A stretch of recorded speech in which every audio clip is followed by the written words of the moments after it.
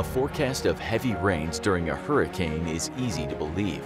But what about when the forecast is for an historical storm event and it's one of several big storms to hit in the last few years? Inside Science.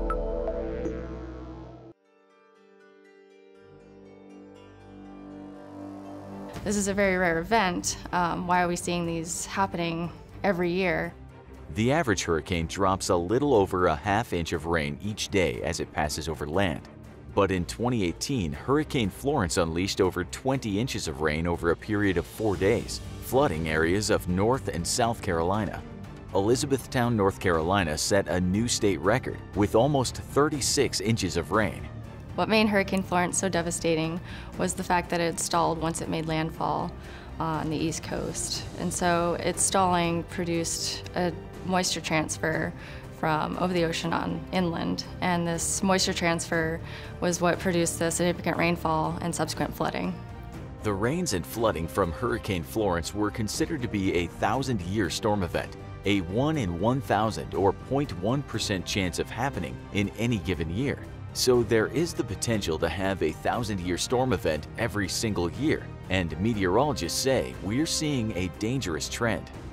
But when we're talking about the southeast, they are occurring on a very frequent basis year after year. We see Joaquin and then followed by Matthew and now Florence. Although the storm was predicted to be epic and it stalled over land, dumping record-breaking rainfall, despite mandatory evacuations, many people did not evacuate. More than 1,000 people in the Carolinas had to be plucked from their homes, rooftops, and partially submerged vehicles. Whether there are heavy rains or the threat of a thousand-year storm predicted, for the public being storm ready and paying attention to weather warnings is important. Maybe they made it through the last couple storms so they can make it through this one without any consequences and that's not always the case and each storm is different and you want to make sure that you're listening and heeding the warnings that are being doled out and that's probably a big lesson that I think people should try to have in the future.